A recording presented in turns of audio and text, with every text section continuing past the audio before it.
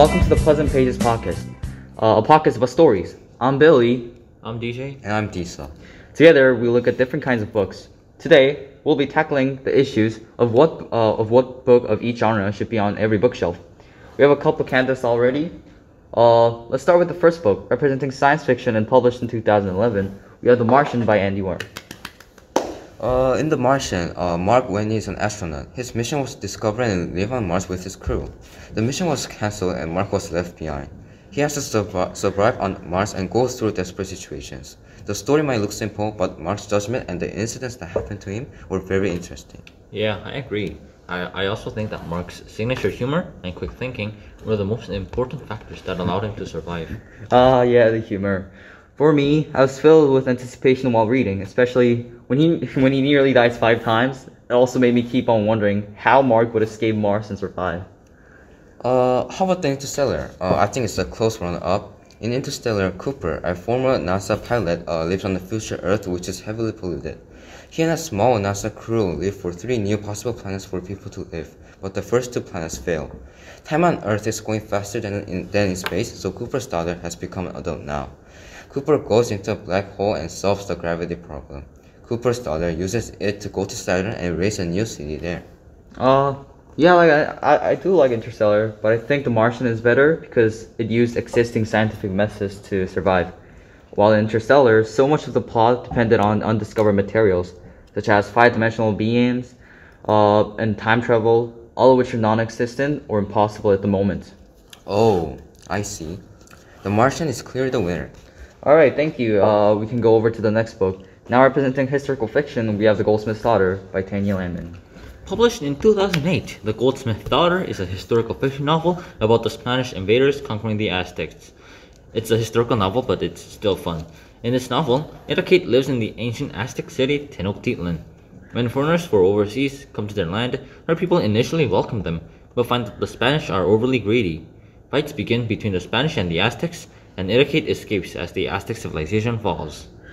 Uh, well, I actually have a question. Uh, I wonder why you chose this book. Aren't there many other books, such as Anne, Mar- Anne Frank's Diary, uh, that are both historical and renowned?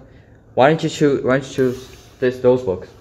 Um, I also did think about having Anne Frank's diary as the historical novel, but a special thing about this book is that the book is written from the perspective of the conquered Aztecs.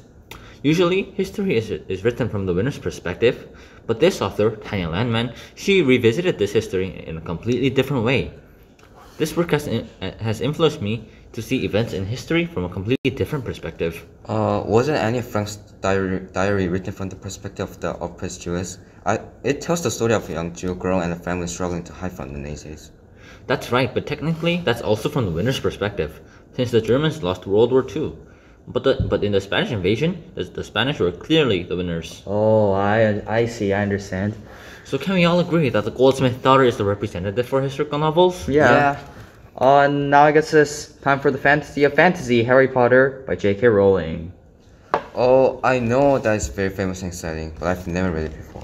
Can you explain the summary of one book you like in particular? Yes, of course. Now I will explain. Personally, I like The Prisoner of Az- Azkaban the most, which is the third book, and it was published in 1999.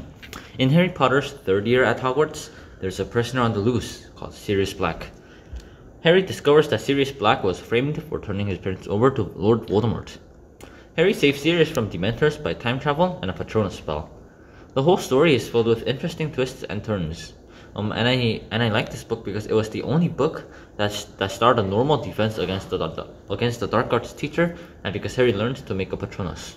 Oh yeah, like I, I do like the third book, but like for me personally, I kind of like the fifth book more because, uh, yeah, most of the scenes were very interesting. Uh, and all the scenes, such as Harry giving DA lessons, uh, were great. I especially love the part when when Fred and George put on the most beautiful and satisfying fireworks ever.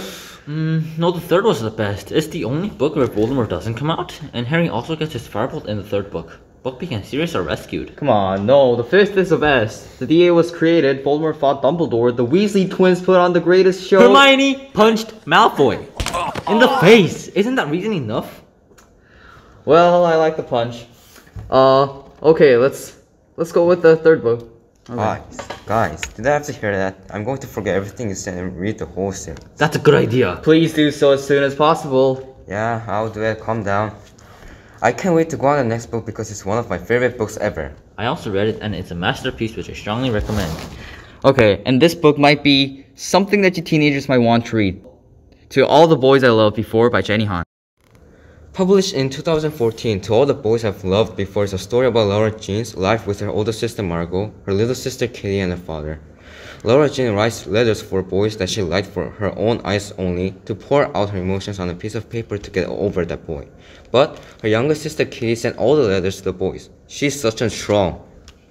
Laura Jean decided to pretend to be in love with Peter, a boy she had once liked, until the whole situation was over. As they went on fake dates, uh, they started to know each other more and they be began to genuinely like each other. Even, even though it was a story about a teenage girl, the story was understandable from a boy's point of view, point of view too. I really, really recommend this book. Uh, honestly, I haven't really read this book yet. Uh, is it a series or a standalone book? It's the first book in a trilogy called the To All the Boys trilogy. The second and third books are also amazing, and I think everyone should read them. I love this story, but I think it might have been better if Lara had thought to explain the letter to Josh instead of hurriedly pretending to like Peter. I think Josh would have understood. Explaining the letter would have been a good solution at, at the time, but if Lara Jean hadn't pretended to, to like Peter, their relationship would- would never have been made, and the entire series would have gone in, in a different direction. Yeah, but the story could have been as good without Peter and Lara Jean together because John Ambrose also had an interest in Lara Jean.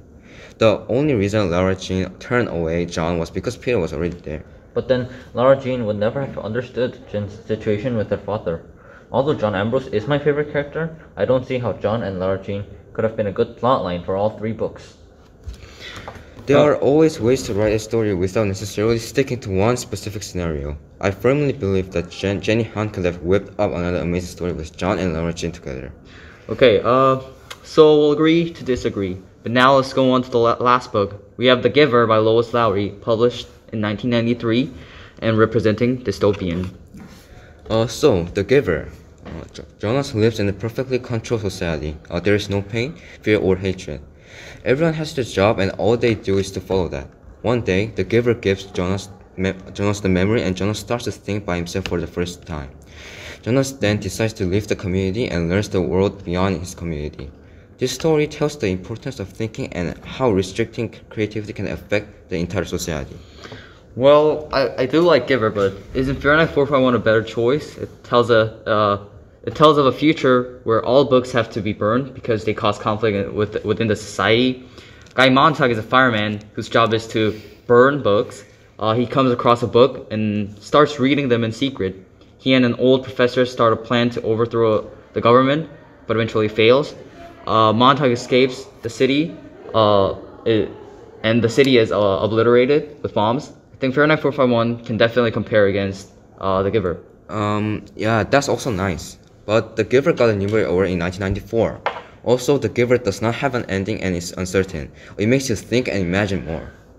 Um, but even though those books are very, both very good, I'm more onto the Giver side. Fahrenheit 451 is great. However, for most people, there are more things to learn in The Giver. Something more than just schoolwork. Well, I guess it's 2 to 1. The Giver takes a spot for Dystopia. Alright, today we talked about which five books of different genres should be on your bookshelf. What have we got? Oh, we have The Martian, The Goldsmith's Daughter, The Prisoner of Azkaban, To All the Boys I've Loved Before, and The Giver. It's been a wonderful time, and I pray you listeners will read these books. I guarantee they are all masterpieces. Thank you for listening, everyone. Thank you. Thank you. What can I try to do to make you love again? What can I do to make you feel this need again? Is it enough if I tell you I love you then?